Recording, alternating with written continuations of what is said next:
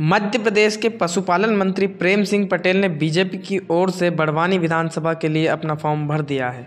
उन्होंने हर बार की तरह अपनी चारों पत्नियों का उल्लेख किया है। हालाँकि प्रथम तीन पत्नियों के पास पैन कार्ड नहीं है। स्वयं तथा चौथी पत्नी कोकिला पटेल, पूर्व नगर पालिका बड़वानी अध्यक्ष को ही पैन कार्ड आवंटित हुआ है। उनके विरुद्ध कोई भी आपराधिक प्रकरण लंबित नहीं है। उनकी पहली पत्नी अशमा, दूसरी सिरवटी, तीसरी कमली और चौथी कोकिला है। एमपी की राजनीति में जैसे ही यूनिफॉर्म सिविल कोड की बात होती है तो मंत्री जी के नाम की चर्चा शुरू हो जाती है। यूँ भी मंत्री जी के कुनबे का बड़वानी की राजनीति में बड़ा दबदबा है। प्रेम सिंह ने पहली पत्नी अस्मा के भाई साई सिंह के खिलाफ उन्नीस में चुनाव लड़ा था और बहुत ही कम मतों से विजय प्राप्त की थी। पहली पत्नी के पुत्र बलवंत पटेल जिला पंचायत बड़वानी के अध्यक्ष हैं।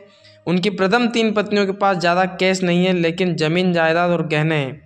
तीसरी पत्नी सिरवटी बाई के पास ही केवल तेईस हज़ार सात सौ तेरह रुपये हैं। शेष केस प्रेम सिंह तथा उनकी चौथी पत्नी कोकिला पटेल के पास है। बड़वानी की चार विधानसभा में से कांग्रेस के तीन उम्मीदवार उच्च शिक्षित हैं, जबकि भारतीय जनता पार्टी के दो ही उम्मीदवार ग्रेजुएट हैं।